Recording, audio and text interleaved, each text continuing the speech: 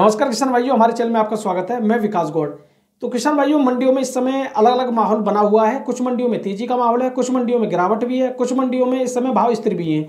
लेकिन जिस मंडियों में गिरावट का माहौल है, अगर उस मंडियों के लोगों से आप बात करोगे, चाहे आड़तिया हो, चाहे कोई भी हो तो वो पता क्या कहेंगे आपसे? सीधी बात यह है कि उनके मुँह पे केवल दो तीन शब्द है। पहली बात कि इस समय कोल्डों में आलू 2022 से भी ज़्यादा है। और दूसरी बात तो ये कहेंगे कि कोल्डों की कैपेसिटी ज़्यादा, फिर भी कोल्ड भर गई। बस यही शब्द कहते हुए मिलेंगे। लेकिन असली कारण क्या है उनकी मंडियों में गिरावट का, इसके बारे में वो बात नहीं करते। लेकिन हमें जो नज़र आ रहा है उसके बारे में आज हम बात कर लेते हैं। फिर आज के आलू के भाव के बारे में बताएँगे आपको। तो देखिए, इस समय जिस मंडियों में गिरावट है, उस मंडियों में जैसे हम माहौल देख रहे हैं वहाँ पे ये हाल है कि टेम्परेचर तो 40 डिग्री या 40 डिग्री से ऊपर चल रहा है, यानी गर्मी बहुत है। अब इस गर्मियों में हल्की सी डिमांड में तो कमी आएगी। ये तो सीधी सी बात है, अब डिमांड में तो कमी आ गई है, लेकिन जो हम गाड़ी भेज रहे हैं मंडियों में, उसमें कमी नहीं आई है, उसमें बढ़ोतरी और होती जा रही है, और बढ़ोतरी होना भी इसलिए ज़रूरी हो गया है क्योंकि लोगों की जो डंप है, उसमें थोड़ी प्रॉब्लम देखने को मिल रही है तो वो सोच रहे हैं कि इससे बढ़िया निकालना ही अच्छा है। तो ये कुछ माहौल इसलिए बनना है, और मंडियों में गाड़ी ज़्यादा पहुँच रही है डिमांड कम है, और बैलेंस ज़्यादा बच रहा है, अब बैलेंस जब भी ज़्यादा बचता है तो सीधी सी बात है, मंडियों में मंदी का माहौल बना रहता है। अब मैं बात करूँगा आपको तेज़ी के बारे में भी, जिस जगह तेज़ी है वहाँ पे क्या है? जहाँ तेज़ी का माहौल है, वहाँ पे गाड़ी कम पहुँच रही है, बैलेंस बच नहीं रहा है, इस वजह से तेज़ी का माहौल है। जबकि 40 डिग्री उनके लिए भी टेम्परेचर है। क्यों? क्योंकि देखिए, वहाँ पे भी डिमांड कम हुई है, यहाँ पे भी डिमांड कम हुई है, लेकिन वहाँ पे गाड़ी लिमिटेड पहुँच रही है लिमिटेड लेकिन यहाँ पे तो गाड़ी और ज़्यादा पहुँच रही है, इस वजह से ये माहौल बना हुआ है या बिगड़ा हुआ है। और जहाँ माहौल स्थिर बना हुआ है, वहाँ पे कोई नहीं है, लगातार स्थिरता ही बनी हुई है, ठीक है? तो आज के आलू के भाव के बारे में बात करेंगे और मैं तो ये कह रहा हूँ कि हमारे किसान भाई इतनी जल्दी क्यों डर सकते हैं? लोग तो डराते रहेंगे उन्हें, पूरी साल डराते रहेंगे और डराते आए हैं और पता नहीं कितनी साल से डराते आ रहे हैं उनको। अब मुझे एक बात बताइए आप वही लोग कि चार दिन पहले जैसे आलू का रेट चार सौ, तीन सौ रुपये कुंटल चल रहा था, उसके बाद आपका आलू छः सौ रुपये पैकेट तक पहुँच गया, लगभग बारह सौ रुपये कुंटल तक पहुँच गया। अब दो चार लोगों की बातों में आके आप इतनी जल्दी डर सकते हो? बिल्कुल नहीं डर सकते। क्यों?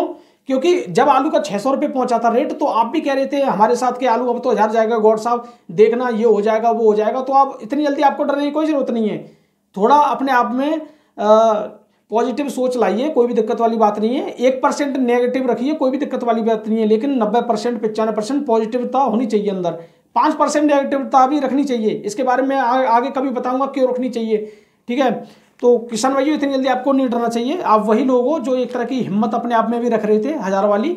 तो हम भी आपके साथ हैं, कोई भी दिक्कत वाली बात नहीं है। दो चार ये बातें तो करते ही हैं। और देखिए, गिरावट में अगर पचास रुपये गिरावट हो जाए ना तो बहुत लोग बड़ी बड़ी बातें करते हैं।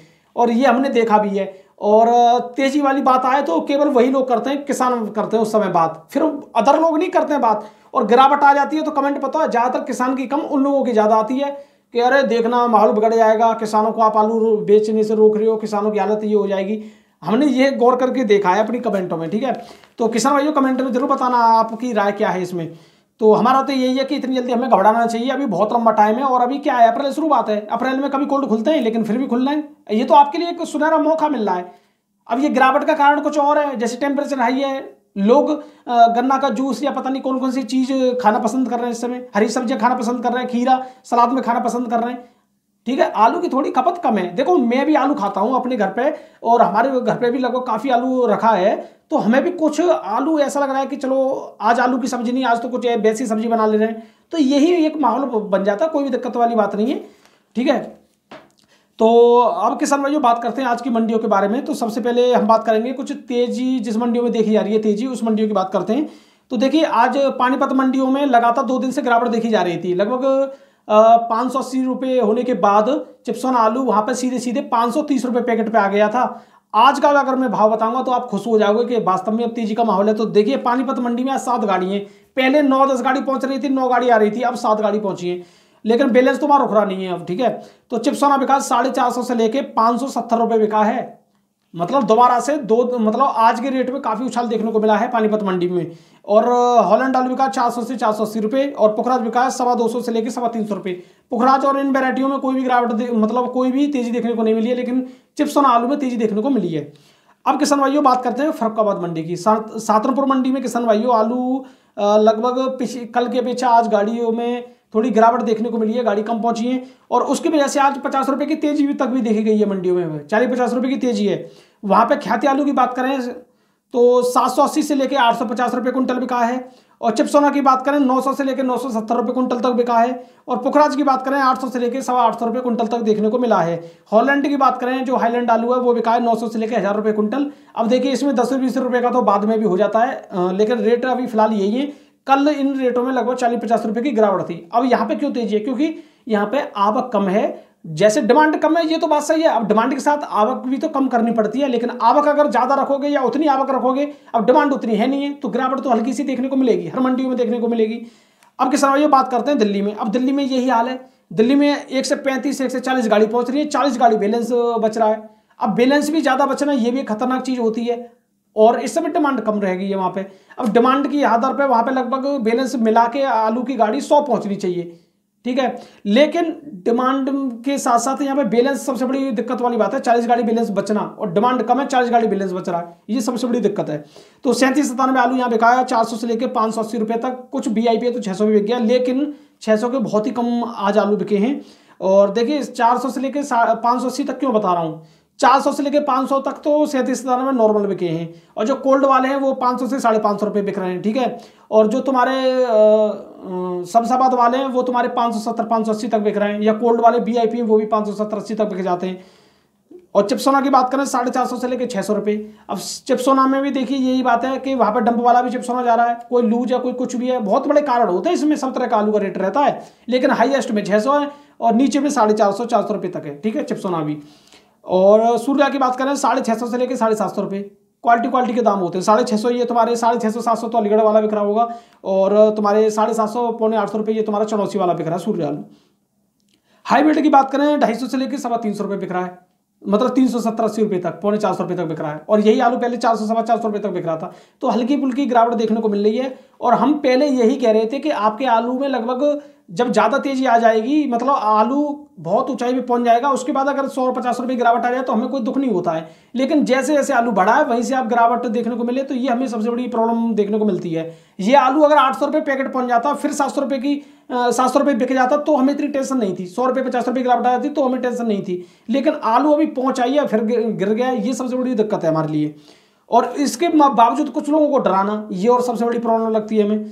तो अब किसान भाई जयपुर मंडी की बात करें तो आठ से लेकर ग्यारह रुपये किलो बिका है। नासिक मंडी की बात करें किसान भाइयों, और देखिए जयपुर में साठ गाड़ी पहुँची है वहाँ पे। अब देखिए आठ से लेकर ग्यारह रुपये किलो यहाँ पे फिर भी बिका है। यानी इतनी गाड़ी की वहाँ पे खपत है। लगभग कल भी यही रेट था, आज भी यही रेट है। और नासिक मंडी की बात करें तो ये स्थिर रेट बने हुए हैं यहाँ पे, ठीक है? और नासिक मंडी की बात करें, तेरह गाड़ी पहुँची है और दस से लेकर तेरह रुपये किलो यहाँ आलू बिका है। और कल नासिक में मंडी में कल काफ़ी गाड़ी पहुँची थी, आज कम गाड़ी पहुँची है। लोकल आलू बिका है, यहाँ पे सात सौ पैकेट जो पहुँचा है वो बिका है, दस से लेकर तेरह रुपये किलो नासिक मंडी में। अब बात करते हैं मुंबई की। मुंबई में आज पैंसठ गाड़ी पहुँची है तो यूपी का लगभग दस से लेकर साढ़े बारह रुपये किलो बिका है, और जो बी है वो तेरह रुपये किलो बिका है, और इंदौर का बिका तेरह से पंद्रह रुपये किलो। और गुजरात का बिका नौ से दस रुपये किलो। यहाँ पर गुजरात के आलू में एक रुपये की गिरावट है। और चेन्नई की बात करें तो चेन्नई में यूपी का जो डंप और कोल्ड का आलू पहुँचा सात आठ गाड़ी पहुँचा है और डंप बिका है दस से तेरह रुपये किलो और कोल्ड का आलू बिका है पंद्रह से सोलह रुपये किलो। और किसान भाई कोलार की छब्बीस गाड़ी जो पहुँची है, वो बिका है चार सौ से लेकर पाँच सौ रुपये चालीस किलो की तौल में बिका है।